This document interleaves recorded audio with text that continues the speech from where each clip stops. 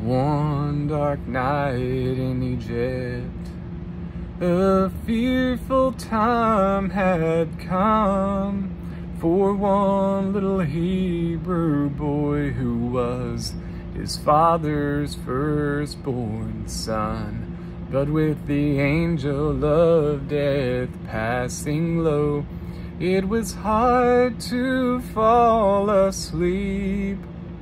But one little lamb stood in his mind as he lay there counting sheep.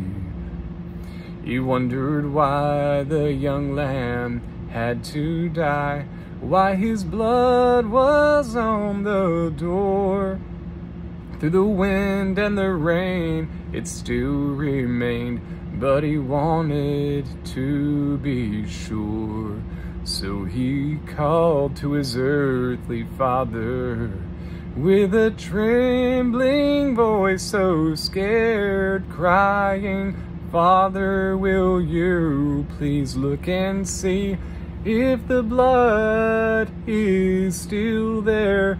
And he said, Son, now don't you worry, for the blood is there to stay. The wind may blow, the rain may fall, but it won't just wash away. The blood will stand the raging storm. It's been applied with love and care. Oh, safe, secured, you can rest assured that the blood is still there. Looking over the damage Satan's storm had left behind, the flood of endless questions, doubt had filled my mind. The fear that gripped my troubled soul brought me back to my knees in prayer crying, Father, will you please look and see if the blood is still there?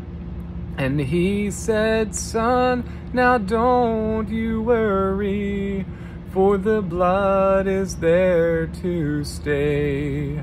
The wind may blow, the rain may fall, but it won't just wash away. The blood will stand the raging storm. It's been applied with love and care. Safe, secured, you can rest assured that the blood is still there. And he said, Son, now don't you worry, for the blood is there to stay.